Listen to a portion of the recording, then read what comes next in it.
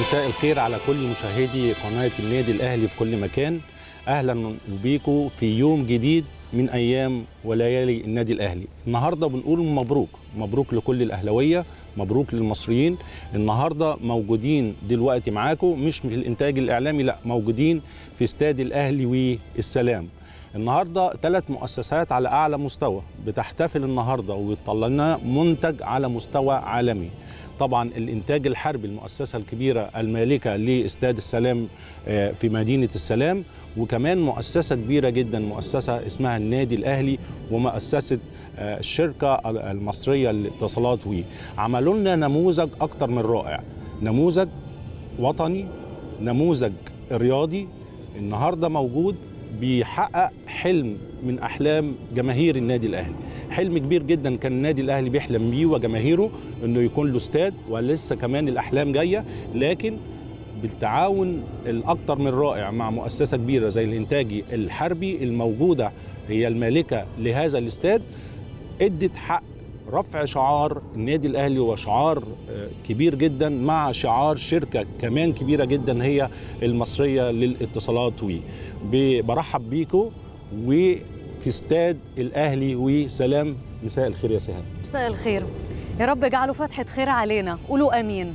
مساء الخير وهو خير وخير كبير قوي وخير عظيم بنشوفه النهارده من وقت ما بدأ الافتتاح افتتاح استاد الأهلي الأهلي والسلام. مبسوطة جدا وإحساس مختلف وكبير جدا وعظيم. أنا مبسوطة وفخورة وأنا قاعدة واسم شعار النادي الأهلي في كل مكان في الاستاد. من ينتمي لهذا الكيان يعرف الشعور ويعرف لغة الحماس اللي الواحد بيتكلم فيها في اللحظة دي. شكرا وي أنا مبسوطة جدا إن إحنا مع حضراتكم النهاردة في ليلة خاصة من ليالي البيت الكبير الإنتاج الحربي. شكرا. شكرا لشركة استادات. اللي اختارت هذا الاستاد علشان نرفع شعار النادي الأهلي البيت الكبير هنا في مدينة السلام. طبعا ده كله بالتعاون مع الشركة الراعية الشركة المصرية للاتصالات وي وإحنا بيسعدنا إن إحنا يكون النهارده في يعني في استضافتنا في البيت الكبير واحد من أهم ممثلين الشركة المصرية للاتصالات وي هو السيد محمد أبو طالب. أنا برحب بحضرتك وحضرتك طبعا النائب التجاري للشركة المصرية للاتصالات. برحب بيك وألف ألف مبروك. اسم النادي الأهلي اسم كبير وعظيم وأيضا شركة وي أو المصرية للاتصالات وي آه اسم كبير. إزاي جه هذا التعاون؟ اولا أشكركم طبعا على المقدمة الجميلة دي ويوم جميل جدا. يعني طبيعي كل الناس تبقى فرحانة بيه الجمهور النادي الأهلي العظيم اللي يستحق كل خير آه شركة آه استادات اللي طبعا الإدارة بتاعتها معروفة بالتنظيم والتكفل بكل الحاجات الناجحة قبل كده. مجلس إدارة النادي الأهلي أشكره جدا باحترامه الجميل والمعهود بالإحتفال النهارده وأبارك له على مجهوده وحاجة تحسب له في العهد بتاعه.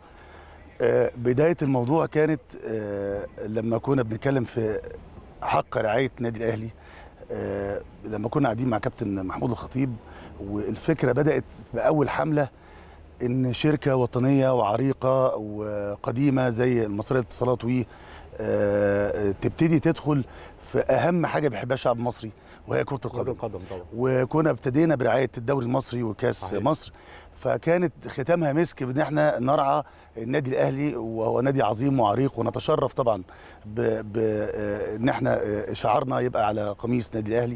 بس أول حاجة فكرنا فيها لما جينا نتكلم في حكاية الشعار على القميص دي كنا عاوزين نبقى مختلفين.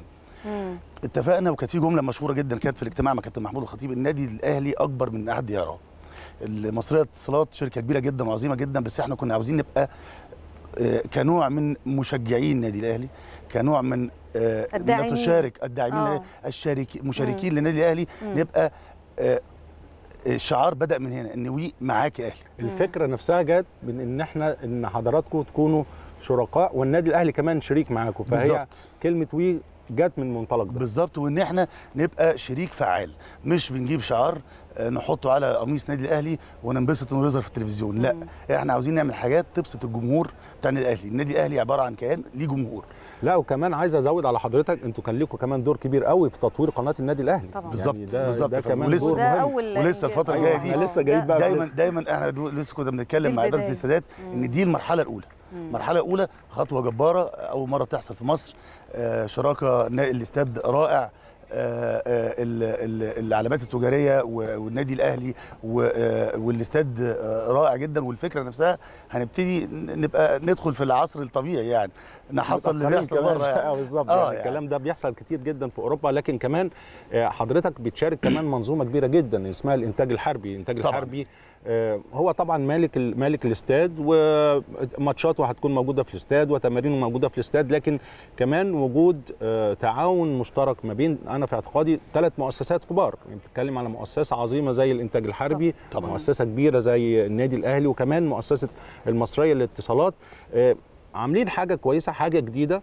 بس خليني أقول آه، يعني انت عريس الليلة بصراحة يخليك. يعني بجد عامل آه، شغل من أول ما بنخش من باب ال- الاستاد آه، والاحتفالية الرائعة والتنظيم الأكثر من رائع. الحمد وأنا لله. عارف إنك اشتغلت كتير قوي الفترة اللي فاتت. طبعا طبعا. وأنت أكيد سعيد إنك بتشوف يعني نتاج هذا التعب إن المجهود ده كله آه، بيطلع بصورة مشرفة وصورة جميلة ويعجب الناس فعلا. ولسه زي ما قلنا المرحلة الأولى دي أقل مرحلة إن شاء الله هتبتدي فيها. ده لسه داخلين على حاجات تانية كتير. تعجب الجمهور ويفتخر بإن لعيبته وغرف الملابس والدرجه بتاعت الاحتياطي والتطبيقات اللي هنعملها وإزاي يعني مش عاوز أحرق شوية مفاجآت بس أنا يعني عارف شوية إن شاء الله اللي يعني. جاية